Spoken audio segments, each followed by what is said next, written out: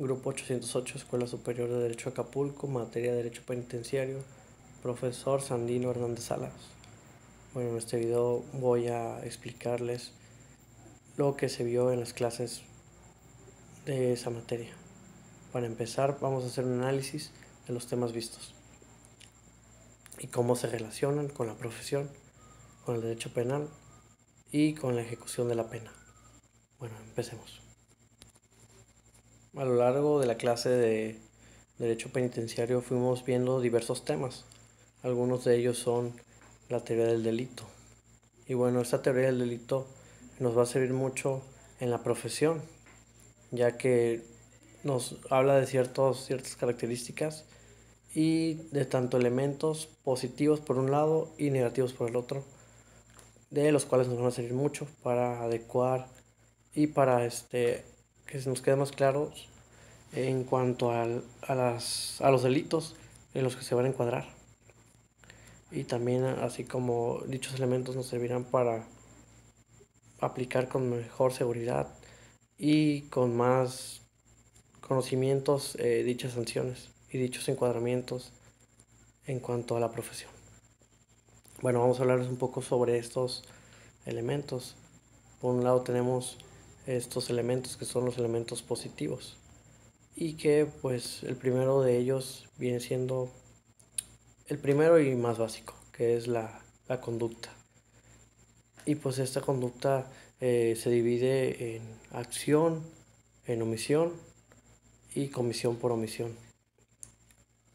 Por otro lado también tenemos la tipicidad, tenemos la imputabilidad y entre otros elementos positivos. La antijuricidad también, la punibilidad, entre muchos otros elementos. Y por otro lado también tenemos los elementos negativos del delito. Y bueno, entre varios son la tipicidad, que bueno, no es nada menos que la no adecuación al tipo penal que contiene, por así decirlo, hablando localmente, nuestro código penal. No se va a encontrar ese delito, eh, no lo vas a poder encuadrar porque dicho delito no se puede, este, no contiene los agravantes que menciona, por así decirlo, en específico algún delito, así que no se va a poder adecuar al tipo, no se va a poder encuadrar. Es la, así en palabras más sencillas, la no adecuación a nuestro código. Por otro lado, pues también tenemos las excusas absolutorias, las causas de justificación también. Cuanto, cuanto a las excusas absolutorias, bueno, en ese ejemplo podemos poner a una persona que padece de sus facultades mentales. Esta persona ante la ley no, puede ser imputable por el hecho de que carece de, de conocer las cosas y carece de, sus facultades mentales. Así que, digamos, por un ejemplo, eh, hay un alguien, una persona, por así decirlo, eh, con problemas mentales en las calles, comúnmente loquitos los llaman. Y esta persona va, va por la calle, digamos, y golpea a otra persona. Eh, no puede, no puede ser este, no se le puede imputar alguna responsabilidad penal. ¿Por qué? Porque pues carece de, capacidad mental para comprender sus acciones. Esa es una excusa absolutoria. Y en cuanto a las causas de justificación, bueno, por otro lado les voy a hablar sobre las causas de justificación. Digamos, el cumplimiento de un deber o el ejercicio de un derecho. Digamos, eh, por un lado va un batallón de infantería militar. El comandante o teniente, bueno, quien vaya encargado del pelotón, da una orden que disparen o abran fuego contra, no sé, X personas. Y digamos, esta persona cumple con su deber que tiene. Recibe una orden y la acata. En cuanto, digamos, digamos en ese, en ese fuego que, dispara contra esas personas, las personas pierden la vida y le quieren imputar esos cargos. imputar esa responsabilidad penal por esos hechos. Pero él, bueno, dice yo recibí una orden. Eh, la responsabilidad no va, no va contra él, sino contra quien dio esa orden, que viene siendo su capitán, su, el capitán o el encargado del pelotón, el militar que iba a cargo de la operación. Bueno, sería una causa de justificación, el cumplimiento de un deber o el ejercicio de un derecho. Entre otras también están la inimputabilidad y bueno, aquí los menores de 18 años son inimputables, para eso existe el sistema de justicia penal para adolescentes. Eh, bueno, aunque la inimputabilidad pues existen varios factores y bueno, son una de las causas de justificaciones. Y ahora pues lo que, lo que aquí se dice pues estos elementos tanto positivos como negativos, son muy importantes. ¿Por qué? Porque a la hora de, del ejercicio de la profesión, a la hora de, de ver los casos, casos en específicos en materia penal, nos van a ayudar a, a comprender estos agravantes y van a ayudarnos a, bueno, para poder este, hacer, formular mejor nuestra teoría del caso y poder así ayudar a nuestro representado.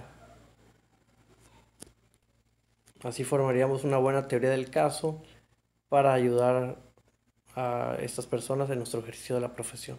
Es muy importante la teoría del delito en la materia penal, en el derecho penitenciario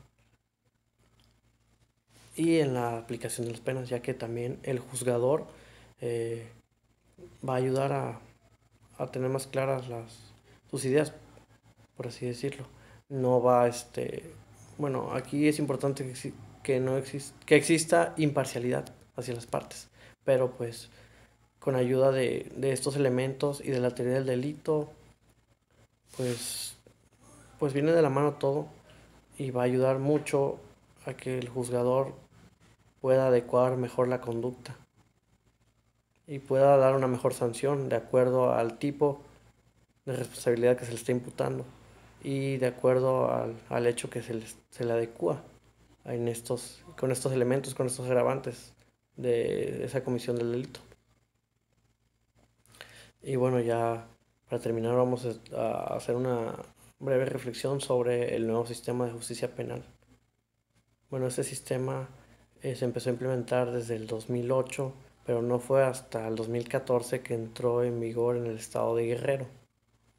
Y bueno, este sistema la verdad que sí ha, este, mejorado constantemente, eh, ya que ha ayudado más con la presunción de inocencia y con eh, los principios que regulan este, este nuevo sistema, que son los de publicidad, contradicción, inmediatez, entre otros eh, principios, son los que regulan todo este nuevo sistema.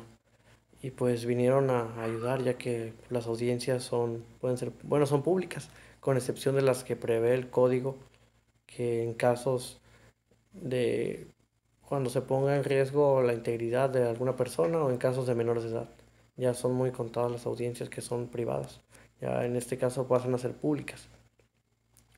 Y bueno, eh, se ha reformado mucho, bueno, más bien se ha este, ido evolucionando todo este sistema y yo pienso que es para bien, para, bueno, ya que había muchas injusticias, de hecho, eh, que se haya implementado este nuevo sistema no quiere decir que ya no las haya, sino que cada vez se busca mejorar, se va evolucionando con el fin de mejorar estos sistemas